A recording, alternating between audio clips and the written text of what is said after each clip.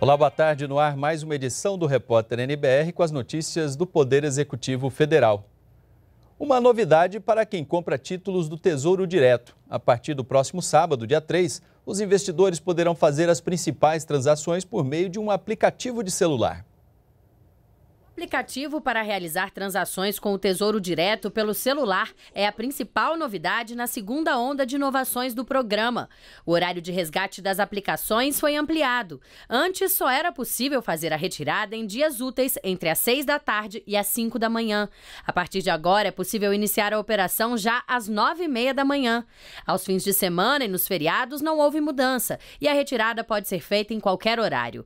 O objetivo das novidades é tornar os investimentos no Tesouro Tesouro Direto cada vez mais fáceis e seguros. Os investidores que, na hora do cadastro, assim o autorizarem, poderão receber SMS ou mensagens por e-mail. Então, assim como a gente já observa na rede bancária, por exemplo, você faz uma transação e pode ser informado no seu celular ou receber um e-mail de confirmação da liquidação de uma operação de investimento, e isso depende do interesse do investidor, obviamente, em autorizar no seu cadastro, mas é algo que pode tornar o sistema ainda mais fácil de ser acompanhado. E para que os brasileiros conheçam melhor o funcionamento do programa, foi criado um curso gratuito pela internet em parceria com a Escola Nacional de Administração Fazendária. A ferramenta de treinamento vai atender quem já é investidor do Tesouro Direto e quem ainda não está cadastrado.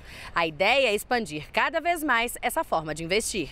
Nós acreditamos que esse programa, que é uma marca do Tesouro Nacional, um orgulho da instituição, é, possa ser também um orgulho de todos os brasileiros.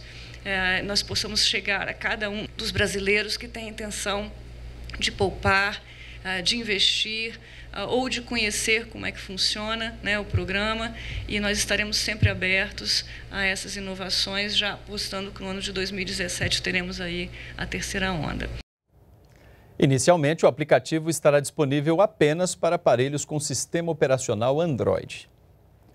O IBGE divulgou nesta quinta-feira novos dados sobre a longevidade da nossa população. Em 2015, a expectativa de vida do brasileiro chegou a 75 anos, 5 meses e 26 dias, um aumento de 3 meses e meio em relação a 2014. Em média, as mulheres vivem 7 anos mais que os homens. Esses dados são importantes porque servem, por exemplo, como referência para o fator previdenciário no cálculo das aposentadorias. O presidente Michel Temer participa nesta quinta-feira em São Paulo de um evento sobre as oportunidades que o Brasil oferece a investidores. Da capital paulista, o repórter Leonardo Meira traz ao vivo para a gente as informações. Olá, Leonardo, boa tarde. Boa tarde, José Luiz. O presidente Temer participa da nona conferência Oportunidades Brasil, que é promovida por uma das maiores instituições de serviços financeiros do mundo. O tema do encontro desse ano é Olhando Além da Tempestade. No convite da organização do evento, eles lembram que, apesar da recente retração da atividade econômica e também do aumento dos índices de inflação, o Brasil permanece entre os 10 maiores destinos de investimento direto estrangeiro no mundo e também é o sexto maior mercado consumidor do planeta. A conferência ela reúne aqui 800 delegados que são investidores da América Latina, América do Norte, Europa, África e também da Ásia. A ideia é ajudar a fazer com que esses investidores tomem as melhores decisões, trazendo recursos aqui para o Brasil. O ministro da Fazenda, Henrique Meirelles, deve fazer uma participação no evento às 4h45 da tarde e a fala do presidente Temer está prevista para as 5h30 da tarde. Depois a gente volta aí ao longo da programação com mais informações. É com você, José Luiz. Obrigado, Leonardo, pelas informações. Bom trabalho para você. Leonardo Meira falando ao vivo de São Paulo. E amanhã é o Dia Nacional de Combate ao Mosquito Aedes aegypti. O ministro da Saúde, Ricardo Barros, se encontrou nesta semana com representantes das secretarias de saúde de todos os estados e capitais para reforçar a mobilização nacional.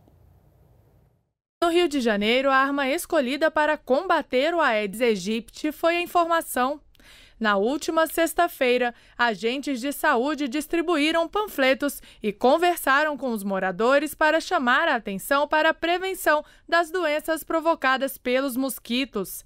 Para os cariocas, ainda está faltando conscientização. Tem muita gente que ainda não tem é, ciência do que está acontecendo, o que, que é grave e que precisa ajudar, porque cada um precisa fazer a sua parte para dar certo. É muito difícil ver uma pessoa realmente cuidando para que não tenha o lugadouro do mosquito dentro de casa. A pessoa tem o cuidado no momento da campanha, né?